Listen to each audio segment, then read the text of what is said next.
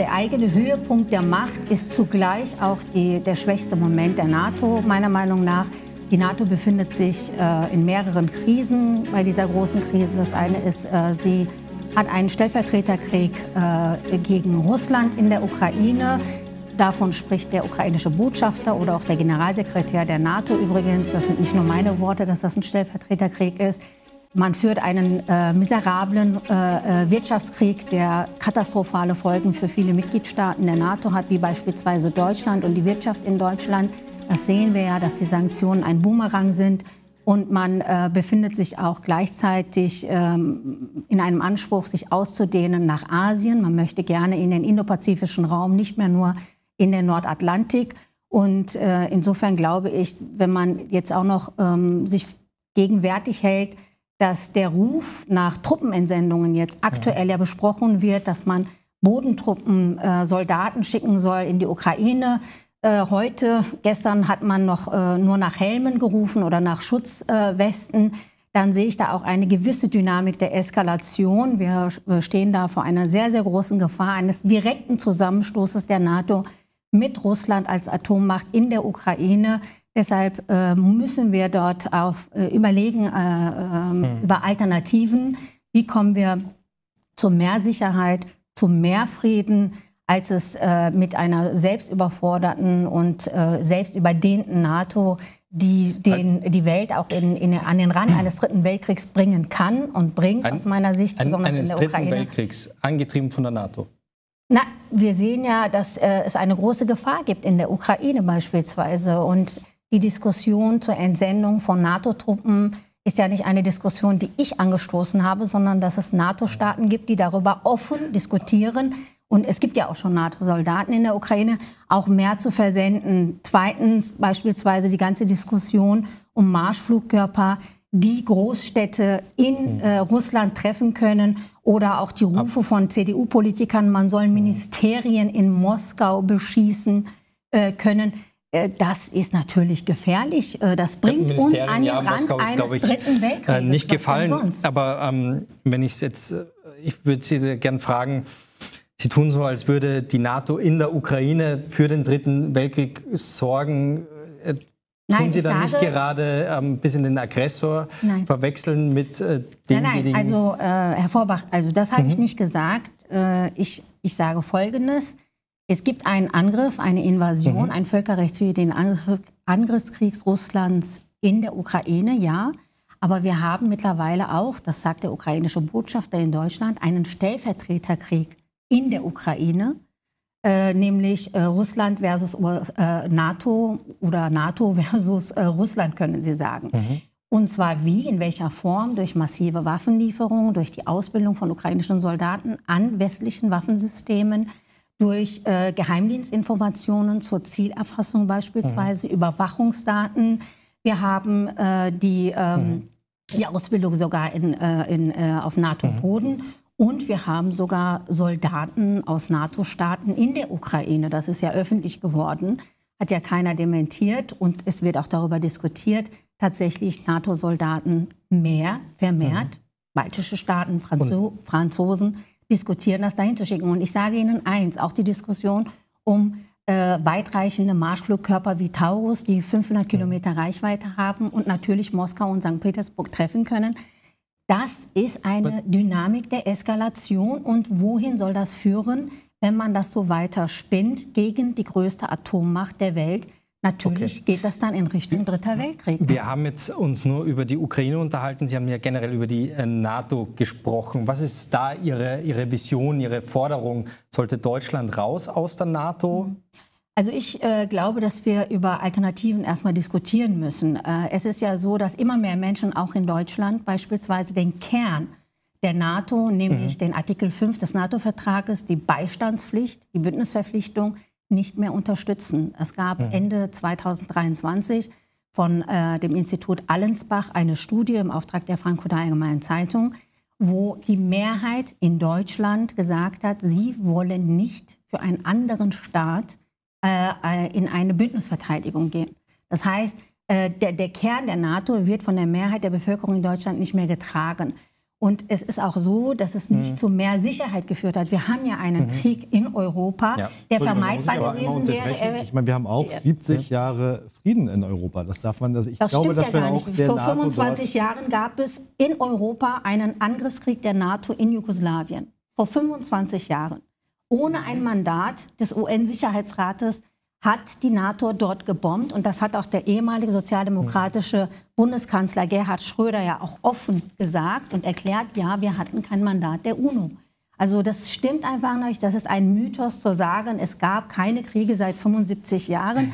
Es gab einen Krieg, vor genau 25 Jahren wurde äh, die Bundesrepublik Jugoslawien bombardiert. Und jetzt haben wir auch einen Krieg in, äh, in, in der Ukraine, auch in Europa, der vielleicht sogar vermeidbar gewesen wäre, wenn man nicht unbedingt wo hätte wollen, dass die Ukraine sich an ja. die NATO annähert und damit die Neutralität die Frage wäre eher, wenn, was wäre passiert, wenn wir die NATO nicht gehabt hätten in dieser gesamten Zeit? Wäre, hätten wir denn keine 70 Jahre Frieden gehabt? Also ich denke, diese Frage muss man sich auch stellen. Also deswegen muss man auch dankbar sein dafür, dass man die NATO äh, hat und ich plädiere natürlich auch dafür, dass wir äh, dringend eine europäische Armee äh, brauchen. Damit das ist aktuell der größte ein, Sicherheitsfaktor für also Deutschland. Solange ganz ein, genau. Bündnis. Aber ich möchte jetzt mal solange die Runde, es einen Warschauer Pakt gegeben hat, kann man vielleicht sagen, gab es eine Berechtigung, war das auch richtig.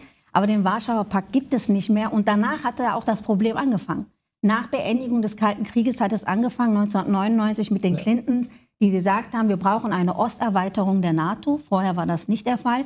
Und man hat ja auch versprochen, dass man nicht nach äh, Osten erweitern möchte. Nein. Und dann Nein. erst hat es angefangen, später mit äh, 2004 und später die größeren äh, Beitritte der anderen Staaten. Ich höre Vorher waren ich höre ein sicher. entschiedenes Nein, Frau Heinisch. Es war natürlich nicht versprochen worden, das ist ja nun oft genug widerlegt. Nicht, es waren auch nicht die Clintons. Ich finde dieses Koloniale und äh, diese Art und Weise, über die Leute und die anderen Länder zu sprechen, einfach indiskutabel.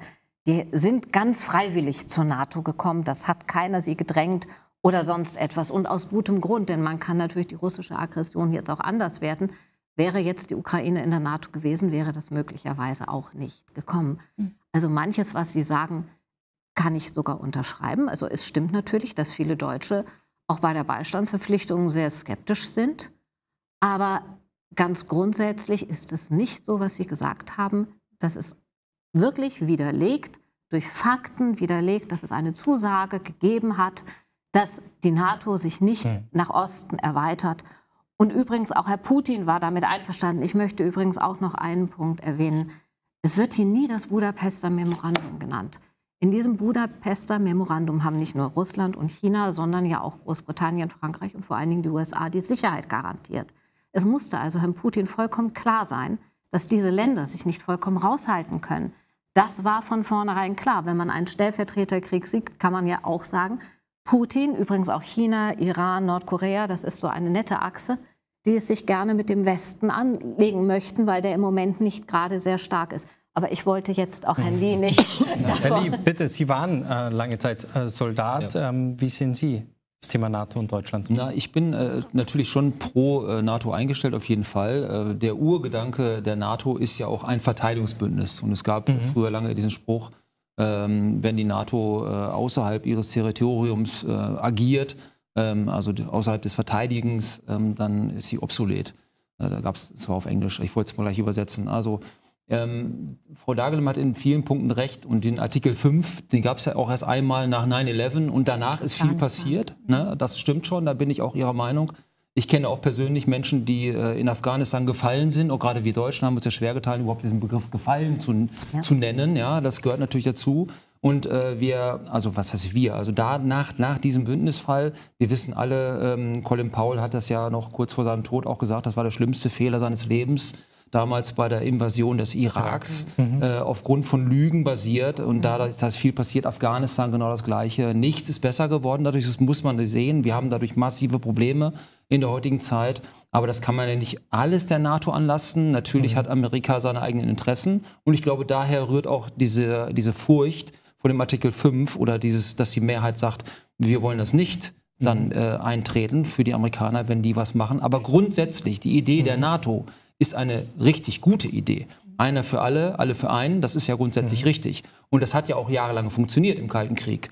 Die Frage ist, so wunderbar funktioniert. Ja. Muss, nee, klar, aber die Frage ist, äh, sind wir überhaupt stark genug? Und wir sehen ja jetzt, dass die NATO einfach auch viel zu schwach ist. Und gerade auch wir. Also ich mhm. habe Zahlen mitgebracht heute, brandaktuelle von Menschen, die wirklich in der Bundeswehr noch tätig sind und Ahnung haben. Wir können uns gerade, das deutsche Heer kann sich maximal in einem Gefecht mhm. 12 bis 36 Stunden verteidigen. Dann ist die Munition alle. Wir bräuchten allein 20 Milliarden Euro, nur um das Heer mit Munition entsprechend aufzurüsten, um den NATO-Standard zu erfüllen. Das heißt also, all diejenigen, die jetzt gerade nach mehr Waffen und nach allem rufen, die äh, noch vor kurzem als wirklich äh, deutsche Soldaten noch in Afghanistan waren, ich spreche jetzt hier die SPD mal direkt an, mhm. die noch nicht mal bereit waren, Drohnen mit Waffen äh, zu bestücken, ja, die jetzt rumschreien alle. Also das ist also ein Ding, da müssen wir offen und ehrlich drüber sprechen. Das ist ein Riesenproblem, mhm. aber grundsätzlich die NATO in Frage zu stellen, ohne mich. Ja, man muss ja auch dazu sagen, es waren vor allen Dingen diese Sicherheitsgarantien, die jetzt zum Beispiel Finnland und Schweden in die NATO getrieben hat. Also dieser Sicherheitsaspekt ist die größte Werbung. Naja, äh, Finnland und Schweden waren lange Zeit bis 2024 keine Mitglieder der NATO. Das heißt, sie äh, haben ja auch, also es war ja nicht unsicher oder auch die baltischen Staaten, es gab auch die Sicherheit vorher. Äh, das ist es nicht. Äh, natürlich haben wir eine andere Situation nach dem Angriff Russlands äh, in der Ukraine.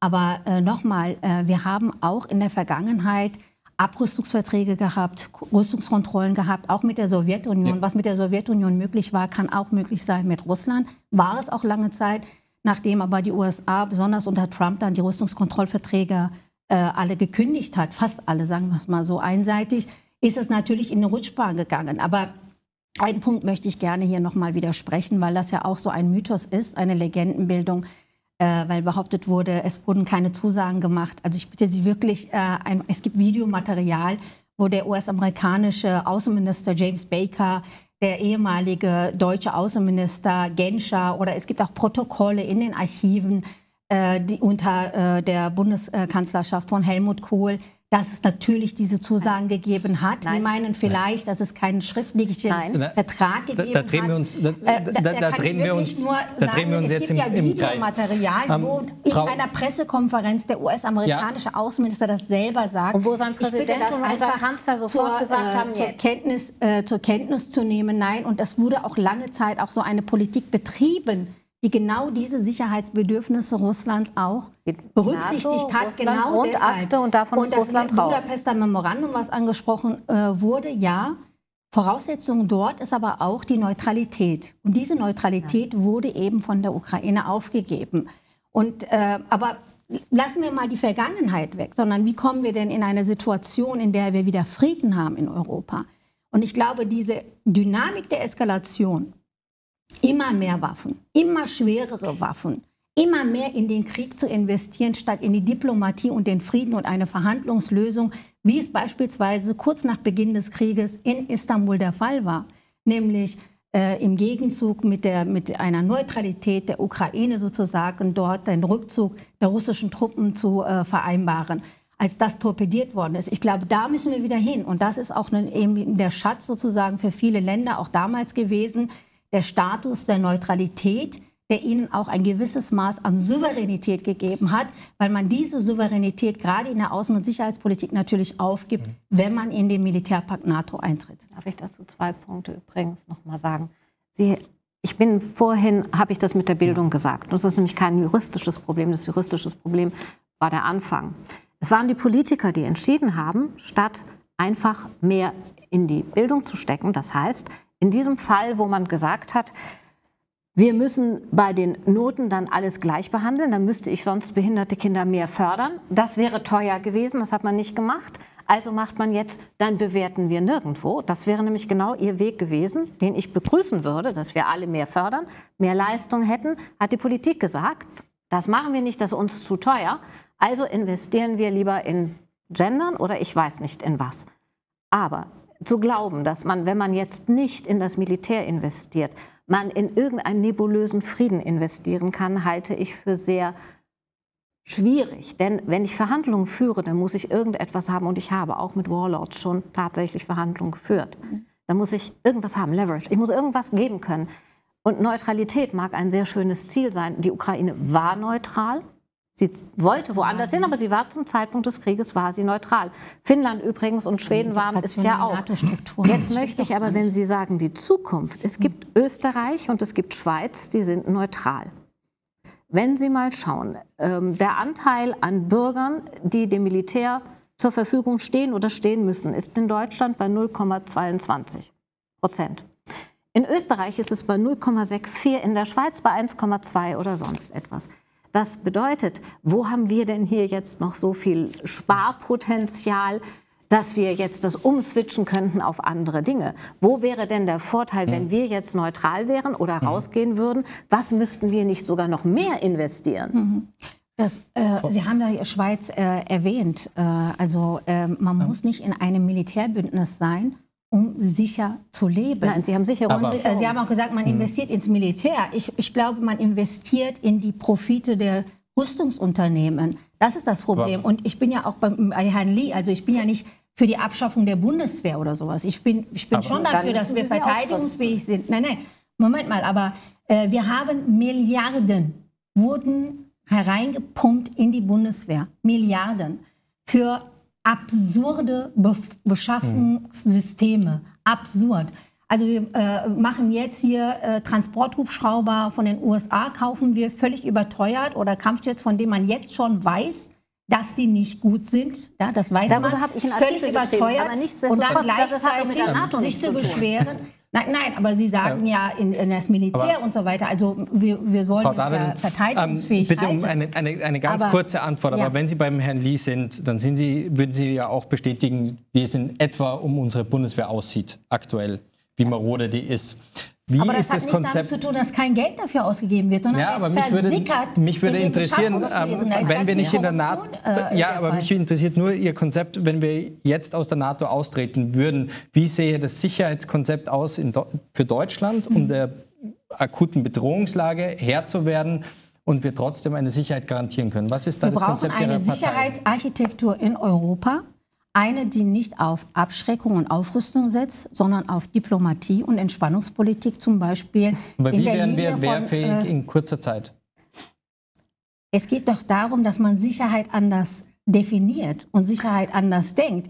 Äh, Sie sagen, äh, wir müssen unbedingt äh, wehrfähig sein. Ich sage Ihnen, mehr Militär ist nicht automatisch mehr Sicherheit. Sie schaffen auch Sicherheit, indem Sie Sicherheitsverträge, Abrüstungsverträge, Rüstungskontrolle beginnen.